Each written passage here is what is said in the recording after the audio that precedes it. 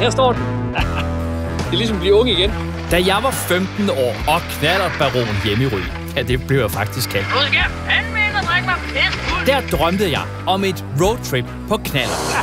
Og efter en fantastisk dannelsesrejse, så kan jeg nu sætte hak ved vestkysten.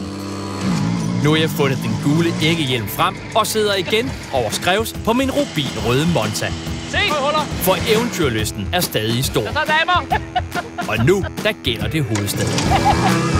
Vi er på kanten af hovedstaden. Og så kommer naturen. Jeg får stive brystvorter i det her. Jeg skal igennem Indre København, brokvartererne, Amager, Vestegnen og Whiskybæltet. For en jøde, der er det hele i København. For at udfordre mine fordomme Så er vi i gang. Ja, vi er lidt vildtosset, os der bor på Amager. Uh, oh ja, vi er jo i Nordsjælland. Og denne gang, ja, der er jeg i den grad på udebane. Jeg er helt tryg ved dig, Musa.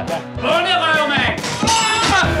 Vores kære hovedstad er farverig, støjende og fuld af historie. Og jeg glæder mig til at opleve det hele med 30 km i timen. Så giv it som bundgas.